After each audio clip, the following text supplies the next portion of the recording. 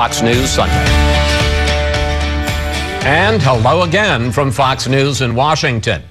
The new year brings a new Republican controlled Congress to Capitol Hill, and the GOP promises to tackle issues from the Keystone Pipeline to Iran and try to find some way to push back against the president's executive actions. Joining us now, two senators expected to be named this week to chair key panels. From Tennessee, Bob Corker of the Foreign Relations Committee and from South Dakota, John Thune of Senate Commerce.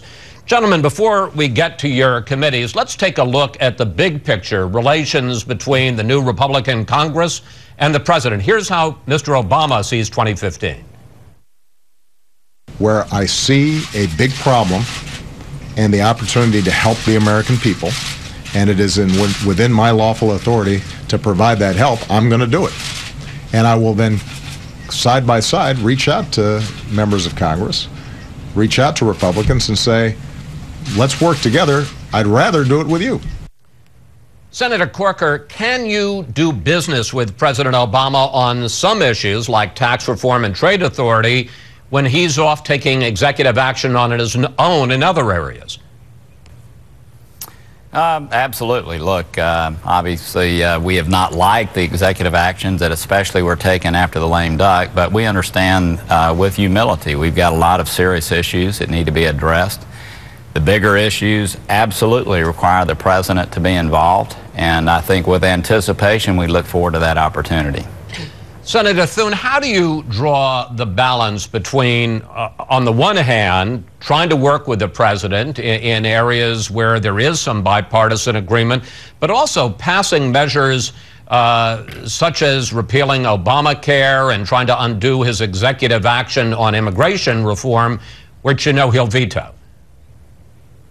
Well, Chris, there I think there are a lot of areas where we can work together, and uh, you know, right out of the gate, we're going to act in the Senate on the Keystone Pipeline. We think the president ought to sign that into law. He's his own uh, administration has now done five environmental impact statements, all of which have said that it would have a minimal impact on the environment. And his own State Department said it would support 42,000 jobs, so it's good for jobs in the economy. We're going to find out very early on, I think, whether or not the president wants to play ball. Um, based on our past experience, it, it, would be the triumph of hope over experience, but uh, you always enter a new session of Congress with high hopes. And I know that Republicans in the Senate are looking forward to and willing to work with the president on areas where we can create jobs and grow the economy and strengthen America's middle class. And I hope the president will meet us there. So, uh, let me ask you about this, Senator Thune, because hearing both you and Senator Corker, I get a distinct sense from both of you that you're more interested in compromise and confrontation. I think, uh, Chris, what we want to see are solutions. We want to see solutions for the American people. And, and, and we hope the president will meet us there. It takes, it takes presidential leadership to do big things in, in, in Washington, D.C. And obviously, there are a number of things where there's uh, bipartisan support, bills that have passed the House of Representatives that have been stalled out in the Senate. We want to start there, move those bills, put them on the president's desk, and we'll find out right away whether or not he wants to be a willing partner. And I certainly hope that he does because we have some big things that we need to do uh, for the American people when it comes to growing the economy and creating jobs and, and creating a stronger middle class for our country. But uh, one more question for you, Senator Thune, then I'm going to bring Senator Corker in to talk about Senate Foreign Relations Committee. Uh, a potential flashpoint, and that is immigration. Uh, you, the Republican Congress, has only funded the Department of Homeland Security till the end of February while you try to find some way to undo his executive action uh, deferring de deportations for up to 5 million people in this country illegally. A, a, a couple of questions. Can you promise that the Republican Congress will not shut down funding for the department that protects our homeland? And how will Senate Republicans handle someone like Ted Cruz? Who may take a harder line and in the, in the past has been willing to stand on principle and shut down the government over that. Right, and we're not going to shut the government down, Chris, but I do think that... The, including the Department, Department of Homeland Security? Security? Well, including that. That funding bill expires at the end of February. Uh, we recognize it's important that we fund the government. Now that we're in the majority, we have the responsibility to do that. But we're also going to use the power of the purse, which is what the Constitution gives the Congress, as a, as a mechanism by which to challenge the president on issues where we think he's overstepped his authority. And what he did on immigration is clearly an example of that. He said on 22 different occasions that he didn't have the legal or the constitutional authority to do this, and he did it anyway. That needs to be challenged. We will look for every opportunity to do that, but it's also going to be important for us to recognize that as a majority in the House and the Senate, we now have the responsibility to get things done for the country and to make sure that our government is funded, but funded in a way that's consistent with uh, what I think the American people said in the November election, and that is they want the Congress more involved in these issues and not have the president overreaching consistently as he has now in, in the past with executive power. Let me bring in uh, you, Senator Corker. Uh, you're going to be the chair. We have to say that you're likely to be because the committee has to actually vote on it this week.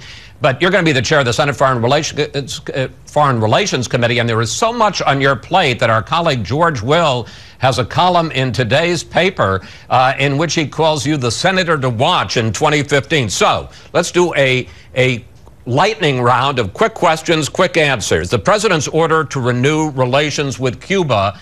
Will you block any nominee to be a new ambassador to Cuba? And will you fight the president's effort to relax the trade embargo? Well, Chris, as I said when the announcement was made, the first thing we want to do is understand um, what behavioral change Cuba is willing to make. So you'll see some rigorous hearings. Uh, I don't fully understand what the telecom, U.S. telecom companies being uh, open to going into Cuba, what that really means. No one's seen a list of the political uh, uh, folks that are being released from jail. So there's a lot to know, and you'll see us uh, having some hearings before decisions are made as to, to what to do relative to this action. All right, let's turn to another subject, and that is Iran. Do you have a veto proof majority in the Senate to pass a new bill in this, in this next few weeks or months that would, uh, if Iran walks away, from uh, the current talks, or if it violates the interim agreement, would impose new sanctions on them? Well, Chris, you know, there's no question that if this deal falls apart, there's going to be additional sanctions. And so the Banking Committee actually deals with sanctions. That's their jurisdiction. I actually serve on that. Foreign Relations Committee uh, may take up a bill that causes Congress to have to weigh in on any deal that happens. This is one of the biggest issues we'll be dealing with, and for Congress not to have a role is totally inappropriate. So we're going to move through the committee process. The Banking Committee will take up one aspect of this. The Foreign Relations Committee will take up another. And through regular order, we'll see what will happen. But I don't think there's any question by those in Iran or around the world that if this falls apart, certainly there's going to be additional sanctions. The question is, when do you do that? When do you signal that? And we're paying a lot of attention to what's happening in the negotiations. We're talking to people all around the, the world, and uh, we'll see as we move ahead. All right. We got, we're in a lightning round here, so quick questions, quick answers. Guantanamo, and I know you have shared authority on this as well, but the president transferred 28 detainees out of Gitmo this last year. If Can you block him if he decides to try to close Gitmo on his own? Well, again, uh, the 01 authorization for the use of military force is an issue that's still open. We've had meetings with the White House over that. Uh, part of that relates to what you can do with Gitmo. You know, the, the fact is that all of us have been open to major changes at Gitmo. But we're waiting for the administration to lay out a plan. What he's doing right now is not as sensible as laying out a plan for the future as to how we're going to deal with all of the detainees at Gitmo. But if he tries to close it on his own, will you block him?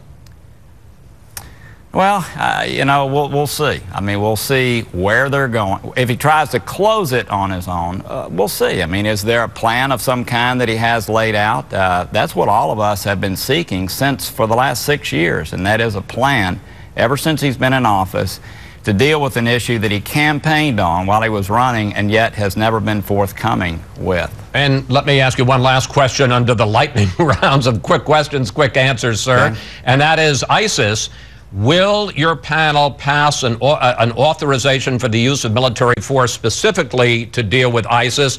And what will you say about the use of U.S. ground troops? Well, on ISIS, I think what we're all hoping to happen is getting, getting the White House to lay out a plan that has a plausible, shows a plausible way to the outcome that they rhetorically have outlined.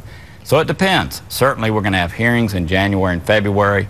Hopefully, they will finally come forth and lay out to us how they will achieve that outcome. But to me, that's an important part of any authorization that we might put forth. with Syria. All right, Senator Thune, let me turn to you and, and the Commerce Committee. One of the big items on your agenda is the fact that you have to find a way to, to finance uh, the transportation bill, which would pay for upkeep of our highways and of the public transit system.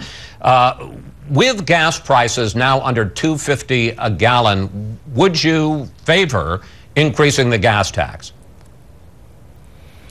Well, I don't, I don't favor increasing any tax, Chris, but I think we have to look at all the options. We obviously have a big delta we have to meet. The highway bill expires at the end of May, and there's about a $100 billion shortfall over what it would take to, to fund the Highway Trust Fund uh, at the current level of operation. So obviously we've got to have to deal with here, and I think there are a number of ways you could you could deal with that, and those discussions continue. Uh, I think we'll get to a, a, resolution on that, but it is important that we fund infrastructure, and our committee deals with that as well as uh, planes, trains, and automobiles, let, all let those me, issues. Let me just interrupt because uh, we're running out of time here. Now, Senator Corker and others have suggested a 12 cent per gallon increase in the gas tax over the next two years. You, you certainly sound like you're not ruling that out. Well, Bob Corker's got a proposal out there. There are others who have suggestions as well, and we appreciate the fact that we've got solutions that are being put forward. Uh, I don't think we take anything off the table at this point. I think it's important to recognize that we have a, we have a problem, an issue that we need a solution for, and we need to look at, uh, at all the possible uh, you know, ways out there in which we can address the challenge and address the problem. But and, that's and, and one proposal that's out there, and Bob Corker's been, you know, taking a, a strong stand on that issue. Uh, one final question Chris, for you. if I could, that was if Chris, if I could, sure. Uh, I just want to point out that yes, we have proposed raising the gasoline tax, so the user fee, by 12 cents, but also by offsetting other taxes that Americans would pay. So it's revenue neutral but at least it would put our infrastructure on strong footing. And that second component seems to get left out of the conversation most of the time. But yes, I believe that's what we should do. Well, thank you for that clarification. Uh, final question for you, Senator Thune, less than a minute left. Uh, Keystone, we talked about it at the very beginning. That's not going to be handled by your committee. It's uh, Energy Committee will take the lead on that, but it does run through your state. Do you have a veto-proof majority in the Senate to force the president to approve the Keystone Pipeline? I, I think the question is, Chris, whether or not there are we're going to find out whether or not there are moderate Democrats in the Senate. This will this is something that has broad bipartisan support in the House of Representatives. It has a number of Democrats supporting it at the Senate. The question is, can we get to 67 if the president decides to veto it? And I think that's a that's a good question. It's going to be up to a lot of those uh, Democrats who have expressed support for this in the past as to whether or not now that it really matters. It's not. It's more than just a symbolic vote. Whether or not they're going to be there but you intend to push that. And, and, and, and let me just ask sure briefly, uh, uh, in about 30 seconds, if I may, if the president decides to veto it, what will that say about him? Well, I think the what, what it'll say about him, for one, is that he's listening again to his sort of left-wing base on this issue rather than to where the American people are, who are overwhelmingly supportive of the project, and where there is a, a, a fairly big bipartisan uh, support in the Congress. So um, we'll see. I mean, I think we're going to get an indication of how this president wants to govern the last two years and how he wants to work with Republicans in Congress. But this will be a this will certainly be a, a, a, a way in which we can measure uh, where he's going to come down. Senator Thune, Senator Corker, thank you both so much for coming in today. Thanks for joining us, and we'll be following you during the new year. Sounds good. Thanks, Chris. Up next, 2015 has just begun, but some people are already talking about 2016 as the presidential field starts to take shape. Our Sunday group joins that conversation.